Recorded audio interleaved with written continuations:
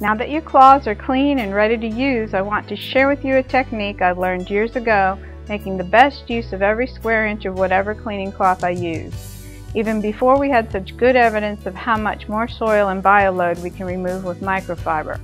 For demonstration purposes, I have already numbered the eight sides of this microfiber cloth. Begin by folding your cleaning towel in half and then in half again. You now have eight clean sides with which to clean.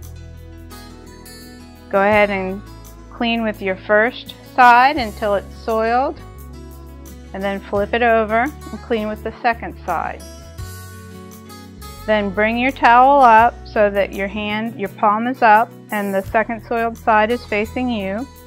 Put your hand under this first layer and go ahead and flip it over diagonally from that point. You now have your third and your fourth clean layers.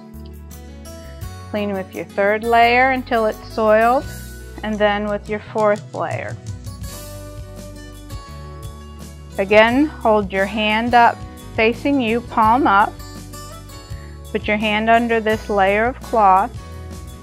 Fold it diagonally. And now you have your fifth and your sixth clean side clean with these. And then this is the last time you'll bring your hand up for this cloth, palm up. Put your hand under that top layer, flip it over diagonally. Now you have your seventh and your eighth clean side. Clean until that side's soiled. Go to your eighth side and clean until that is soiled and now you've just efficiently used your cleaning cloth. On average, we've learned that a cleaning team uses one to two ultra microfiber cleaning cloths per dry room and two to three per wet room during an average weekly or biweekly maintenance cleaning procedure.